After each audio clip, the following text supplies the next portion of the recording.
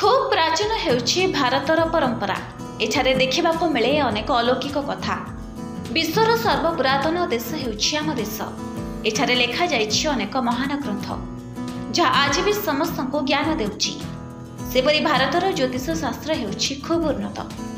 ଗ୍ରହ ଚଳନକୁ ଠିକ୍ ଭାବରେ ବୁଝିପାରନ୍ତି ପଣ୍ଡିତ ଆଉ ସତ ସତ ଅନୁମାନ ଲଗାଇଥାନ୍ତି। ତେବେ ବର୍ତ୍ତମାନ ଦୁଇହଜାର ତେଇଶ ସରି ଆରମ୍ଭ ହୋଇସାରିଛି ବର୍ଷ ଦୁଇହଜାର ଚବିଶ।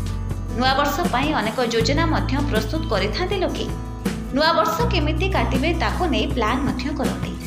ହେଲେ କିଛି ଏମିତି ରାଶିର ବ୍ୟକ୍ତି ଅଛନ୍ତି ଯେଉଁମାନଙ୍କ ପାଇଁ ଦୁଇହଜାର ଚବିଶ ବର୍ଷ ହେଉଛି କାଳର ବର୍ଷ। କାରଣ ଏହି ବର୍ଷ ସେମାନଙ୍କ ଜୀବନରେ ଘଟିବ ବଡ଼ ଦୁର୍ଘଟଣା ଯାହା ସେମାନଙ୍କୁ ଛାରଖାର କରିଦେଇପାରେ ଆଉ ଏମିତିକି ମୃତ୍ୟୁର ବିପଦ ମଧ୍ୟ ରହିଛି। ତେବେ ଆସନ୍ତୁ ସେହିସବୁ ରାଶିଗୁଡ଼ିକ ଉପରେ ନଜର ପକାଇବା ଏବଂ ଏହାର ପ୍ରତିକାର ବିଷୟରେ ଜାଣିନେବା।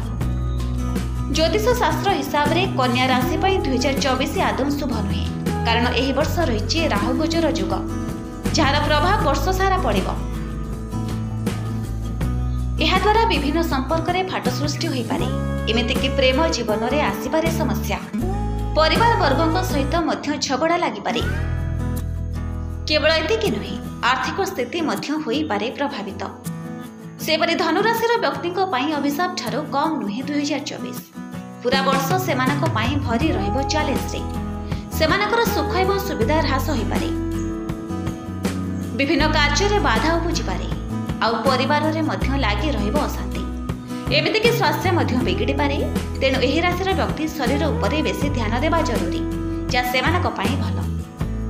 ଆହୁରି ମଧ୍ୟ ସମାନ ପରିସ୍ଥିତିର ସାମ୍ନା କରିବେ କୁମ୍ଭ ରାଶିର ବ୍ୟକ୍ତିମାନେ। ବର୍ଷଟା ସାରା ଲାଗି ରହିବ ଆର୍ଥିକ ସମସ୍ୟା। ପରିବାରରେ ମତଭେଦ ମଧ୍ୟ ଦେଖାଦେବ।